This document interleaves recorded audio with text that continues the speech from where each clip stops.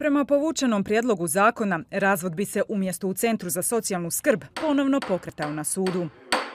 Za pravobraniteljicu Mila Sklarić korak unatrag. Ne vidim nikakav niti zdravorazumski, niti pravno utemeljen, znanstveno utemeljen, na podacima utemeljen razlog za vraćanje na lošuju varijantu, osim neke vrste pogodovanja e, dijelu odvjetnika Ukinuo bi se i roditeljski plan o zajedničkoj skrbi o djetetu nakon razvoda koji se kažu u komori socijalnih radnika pokazao uspješnim.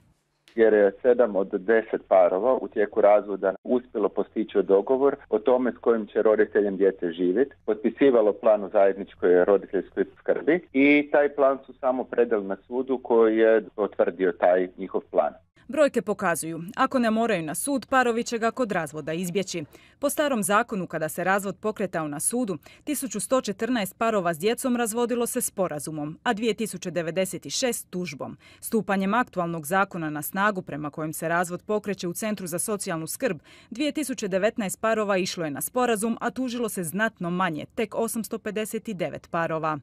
Sada će ponovno morati na sud, to će biti dugotrajna parničenja, djeca će nam ponovno biti e, izložena psihičkim pritiscima, Roditelji će biti izloženi davanju izuzetno velikih novaca za odjetničke e, troškove. Struka kaže, za djecu je najbolje, najbrže rješenje.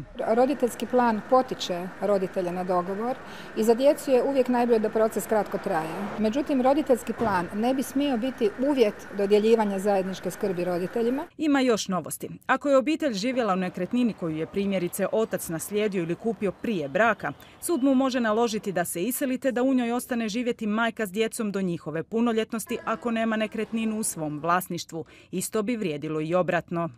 Prijedlog je po pitanju imovine izostavio izvanbračnu djecu, što struka smatra diskriminacijom. Savjet vladi Republike Hrvatske i Andreju Plenković je ne mijenjajte postojeći zakon, ništa ne dirajte.